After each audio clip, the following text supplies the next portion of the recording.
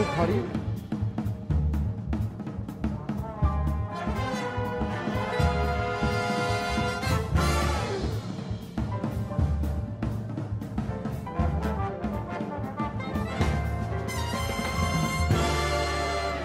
목화악기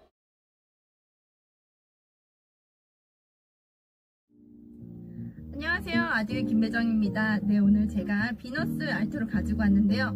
백나나의 찔레꽃을 불어볼 테니 얼마나 멋진 음색이 나올지 함께 들어봐 주세요.